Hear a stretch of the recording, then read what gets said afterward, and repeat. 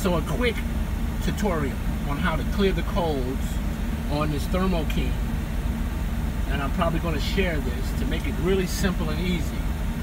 Okay, this top button here and this button, you press those two buttons at the same time, which will get you in the, um, the error code modes.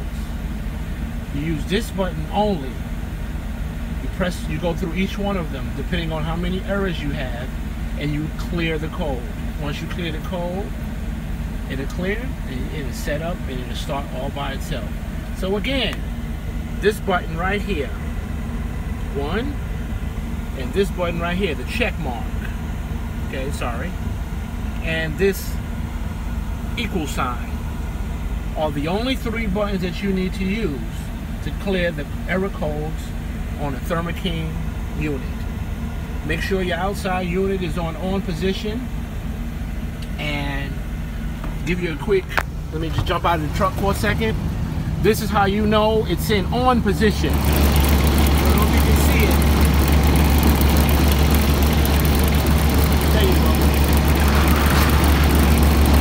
That's on position. That is on position, over and out. Hopefully this helps everyone who has problems clearing the codes.